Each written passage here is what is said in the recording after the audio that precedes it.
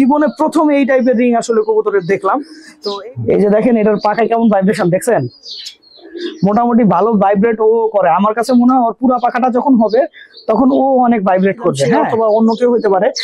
কবুতরটা জালি পট টেনে দিছিল হ্যাঁ? তো যে কারণে ওর এখানে অনেক আপনার দেখেন যে অনেক রক্ত ছিল ঠিক আছে? এইটা দেখেন মা দিয়ে মা দিয়ে জোড়া নিয়ে ডিম পাইরা কি অবস্থা হয়েছে দেখেন। নড়তেও পারে না, চড়তেও পারে না। আমাদের ঘুঘু পাখিগুলো এখন মোটামুটি আমাদের বাসায় আসলে সেট হয়ে গেছে, ঠিক আছে? কবুতর ডিম পেরে কতটুকু দুর্বল হয়েছে এটা বোঝার জন্য আমি করি কি কবুতরটা উল্টা করে দিই। উল্টা আসসালামু আলাইকুম, দর্শকবৃন্দ, কি অবস্থা সবার? কেমন আছেন আপনারা? আপনাদের সবাইকে আমাদের নতুন একটা ভিডিওতে স্বাগত তো দর্শকবৃন্দ, কিছুদিন আমি যখন বাসায় ছিলাম না, আসলে ছেলে পেলে যে কাজটা করছে, কয়েল দিতে একটু লেট করছে। এবং যে কারণে দেখা গেছে, মনে করেন আপনার বেশিরভাগ কবুতরের বাচ্চারই আমার বাসায় পক্স হয়ে গেছে।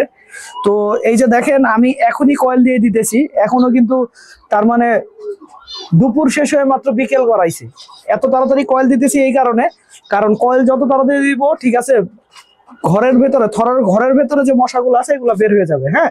তাকে কয়েলটা দিয়ে দিয়ে আসেন। এই যে দেখেন, আমার কয়েল দানিটার মুরগিতে অবস্থা করছে কি? এটার সাথে যুদ্ধ না করলে আমার মুরগির পেটের ভাত হয় না, বুঝছেন? আমাদের ঘুঘু পাখিগুলো এখন মোটামুটি আমাদের বাসায় আসলে সেট হয়ে গেছে, ঠিক আছে? এখন মোটামুটি নড়াচড়া করে, ডাকাডাকি করে, হালকা হালকা ডাকে, কিন্তু আমরা আসলে ডাকা বন্ধ হয়ে যায়। যে কারণে আপনাদেরকে ওদের মধুর ডাকটা শোনাইতে পারি না। ওদের ওদের ডাকটা শুনতে খুবই ভালো লাগে। মিষ্টি করে আস্তে আস্তে কবুতর যেভাবে ডাকে সেম একইভাবে ডাকে, কিন্তু খুব আস্তে আস্তে ডাকে হ্যাঁ? ছেলেপেলের কাজ, খালি ঘুঘুর খাবারে খালি ধান দিয়ে রাখছে, আর কোনো কিছু দেয় নাই, বাকি এলিমেন্ট কিছু দেয় নাই, দেখছেন? তো এখন এদেরকে আমি একটু খাবার দিয়ে দিব।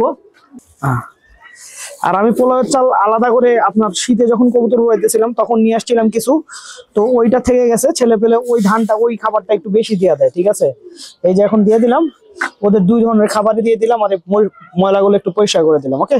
আর এইদিকে আমাদের ফিন্স পাখিটাকেও দেখতেছি, খাবারের একই অবস্থা, খাবার ঠিক মতো দেওয়া হয় নাই। তো ফিন্স পাখিটাকে একটু আমরা খাবার দিয়ে নিবো হ্যাঁ? কবুতরের পায়ের একটা রিং দেখাবো, এই ধরনের রিংটা আমি আসলে খেয়াল করি নাই। আপনার এর আগে আমি কখনোই দেখি নাই, সিরামিকের রিং। আমি কবুতর রিংটা আগে আপনাদেরকে দেখাই, তারপর আপনারা বুঝতে পারবেন। যে কবুতরের পায়ে যে রিংটা দেখছেন, এটা কিন্তু প্লাস্টিকও না, ঠিক আছে? এটা কোনো মেটালও না, এটা হচ্ছে সিরামিক টাইপের রিং। আমি এরকম রিং, কবুতরের পায়ের রিং কখনো দেখি নাই হ্যাঁ? আমি জীবনে প্রথম এই টাইপের রিং আসলে কবুতরের দেখলাম। তো এই কবুতরটা আসলে আপনার কিছুদিন আগে আমি নিয়ে আসছি। এটা আমার বাসার একটা রেজাল্ট করা কবুতরের মা। তো আমি এই কবুতরটা নিয়ে আসছি, আপনার কিছুদিন হয়। তো প্রথমে আমি খেয়াল করি নাই, আজকে ধরে আমি খেয়াল করলাম যে ওর পায়ে একটা সিরামিকের রিং দেওয়া আছে হ্যাঁ? তো এইটা খুবই আনকমন একটা জিনিস লাগল আমার কাছে ওকে আমি রাজশাহী থেকে এসে আমাদের মুরগি পাখিটা ধরে দেখি নাই, ঠিক আছে?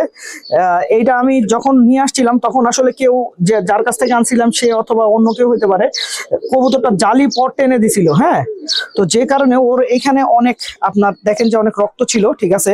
তো এই জিনিসটা এখন কি অবস্থায় আছে একটু দেখলাম, যে না, মোটামুটি ঠিকই হয়ে গেছে হ্যাঁ? এই যে দেখেন, মোটামুটি ঠিক হয়ে গেছে।